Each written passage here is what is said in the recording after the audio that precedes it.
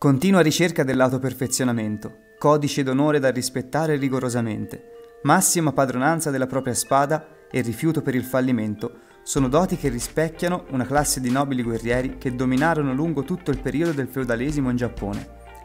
Avvolti da un velo di fascino e mistero, stiamo parlando ovviamente dei guerrieri samurai. Ma chi erano questi nobili guerrieri? Qual era il loro compito e cosa li contraddistingue dagli altri guerrieri, come ad esempio i cavalieri in Europa?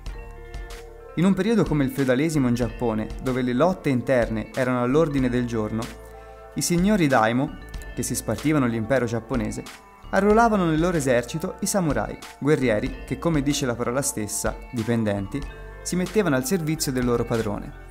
Il ruolo del samurai era quello di combattere per il proprio signore mantenendo la stabilità e l'equilibrio per tutto il paese. Grazie al codice d'onore che seguivano, rendeva questi guerrieri un esempio di nobiltà e di purezza. Il codice in questione veniva chiamato Bushido, ovvero la via del guerriero. Era un insieme di dure regole che i guerrieri samurai rispettavano rigorosamente, come l'onore, la fedeltà assoluta per il proprio padrone, la ricerca continua per il miglioramento personale e il rifiuto per il fallimento. Per quanto riguarda l'onore, se un guerriero aveva una colpa o un fallimento a suo parere da dover scontare, praticava un gesto estremo di nome Akiri, ovvero taglio del ventre.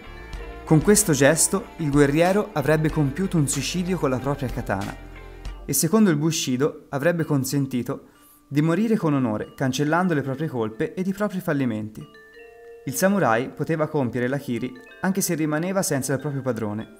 In alternativa, se non si fosse quindi suicidato, sarebbe diventato un Ronin, ovvero un guerriero privo di onore e senza un padrone e sarebbe stato costretto a vagare per il paese senza una meta e senza combattere per nessuno.